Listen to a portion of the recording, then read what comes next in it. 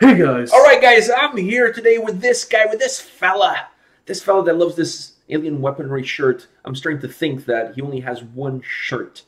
Um, we're here to check out the latest video from the Dark Element called "Songs the Night Sings." Very somber, dark uh, title, I must say, for a song. But uh, th- there's a couple of things I want to say before we get started with this video. I'm really excited. This video just came out. I'm really excited to check it out. A few things I want to say first is we've only done one video from this band before, and that was The Ghost and the Reaper. And, And that, that was- song, that song does not need any introduction. That song is absolutely magnificent. Still on my playlist. I, when I'm feeling a little bit of a need of a pick me upper, that's a song that I always need go a face for. melter. That's. Oh, that's definitely a face melter of a song. So we've done that song before. This is the second time we're checking out the Dark Element. This is a brand new video, like I said, brand new song. They have a new album coming out in October. I believe it's October. I can't remember the exact date, but on October they're releasing a brand new album. So this is the first taste of that brand new album. Uh, are you ready? Yeah. All right, let's do this.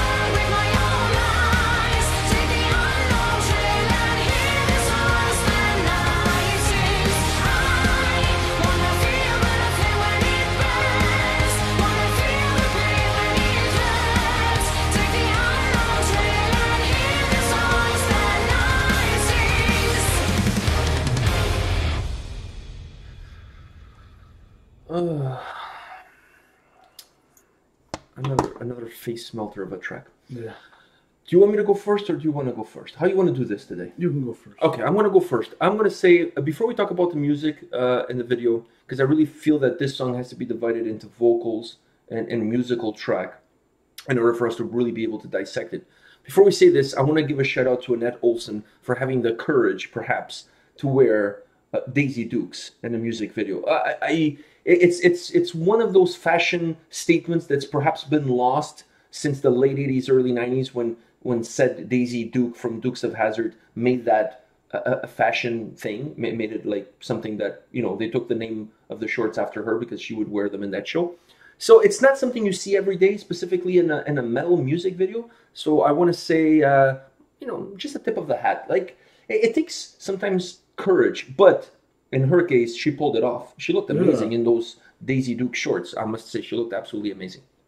Now, now that I said that, uh, let's talk about the music. Uh, unless you have any other fashion statement that you want to make, you don't want to add anything. No, no? okay. Uh, I also want to give a shout out to the Rush patch that he had on his vest. I'm not a huge Rush fan, but they're Canadian, and anytime I see somebody, uh, you know, supporting a, a, Canadian band, I always have to mention that. But anyways, let, now let's talk about the music.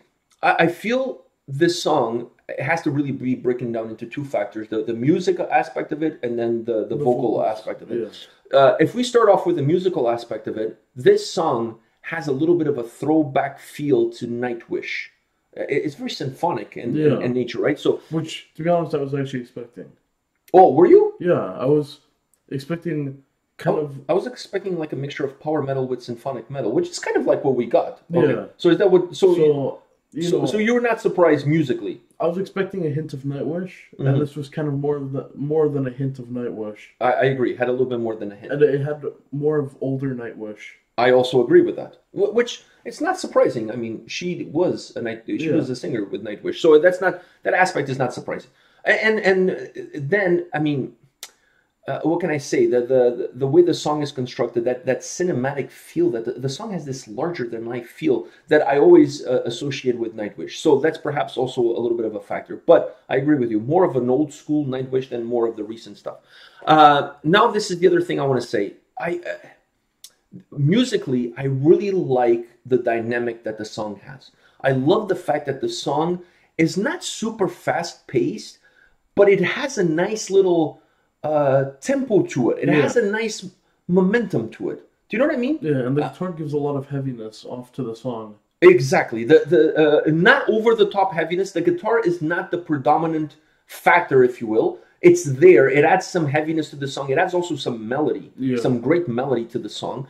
But I never felt at any point in time that the guitars were kind of overshadowing everything. It, it was really well constructed musically to allow every single piece of the song to play a, a, factor, but not to have one of them be more important than the others. And this becomes even more noticeable in the solo.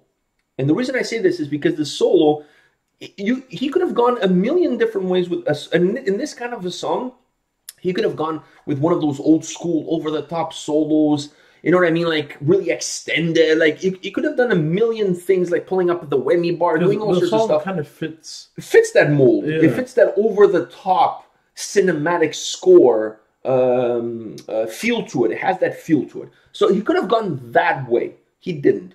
He incorporated the melody and the riff that the song already had into the solo. The first half of the solo is pretty much that same melody uh, with, with a little bit of a, a, a, faster rotation, if you will. And almost like it was at 10 and you move it to 11. That's kind of the feel that you get. So even the way the solo is constructed within the song is doesn't allow the song to feel like it's broken. It allows the song to continue with that momentum that it has. It doesn't stop the song. It doesn't stop the song. It doesn't become the main component of the song. It, it also it also doesn't make the tempo faster. It, the tempo everything stays the same. Yeah.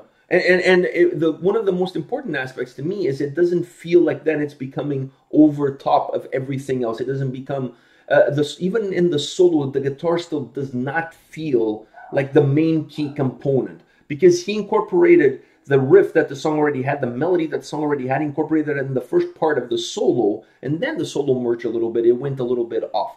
So I really like the way the whole musically, the way the whole song is constructed is really well well put together. And to me, one of the most key ingredients in allowing this song to always feel like it's moving towards something it's even that solo Yeah. the fact that the solo incorporates a piece of that the song already has just a little bit faster a little bit obviously more melodic i love that musically i love that i just feel like allows the song to be really concise really tight really put together and, and- just have this like forward motion to it to me that's my opinion musically now vocally before i say something w- w- w- because it, i feel like i'm the only one talking w- what did you think uh, vocally I, like I said, I wasn't I wasn't expecting. I was expecting quite a bit of Nightwish, and her vo- her voice matched with Nightwish. So this song was musically kind of like older Nightwish, like we said. So like from her era Yeah, yeah. So it matched. It matched perfectly. It, it matched perfectly. Her.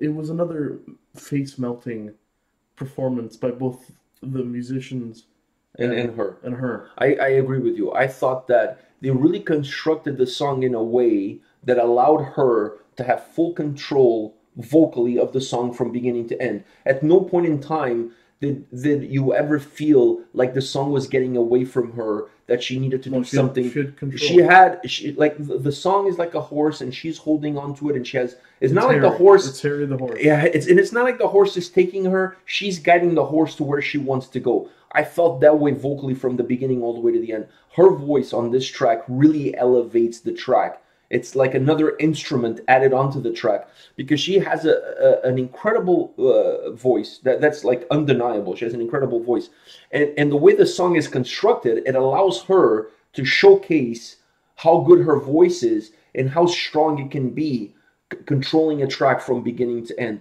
The song, by being very tight, very concise, not having a lot of peaks and valleys, is always very linear in its approach. Even with the solo, the solo doesn't add a peak or a valley, it just stays linear with the track. That allows her for then using her voice, let her voice dictate the peaks and the valleys that the song is going to have. Instead of the of the song itself, like you know, like some songs have the verses is a little bit more faster than the chorus, a little bit so there's those peaks and valleys. This song, her voice, her voice, her vocal tone, her delivery does the peaks and the valleys, not the instru- song yeah, itself. The instruments don't have to do that. Exactly. The instruments, everything is linear, and then her voice is what gives it the ups and downs. Absolutely incredible track. Loved it. Yeah. Loved it. Now I'm really excited about two things. One, I'm excited about that album coming out, and two, the prospects of a tour. I really would hope these guys would get together and come to the shores of North America and dazzle us with this With kind some of greatness. exactly. Give us some incredible vocal performances and some guitar solos and crap like that. I love that shit. All right, so two things. Looking forward to the album and hoping for a tour. I think the album is a given. It's coming Yeah. out. The tour, The tour, let's know, keep our fingers crossed and hope that it that it happens. All right, guys, this is it for today. But come back tomorrow. We'll have more videos for you. See you guys. see ya.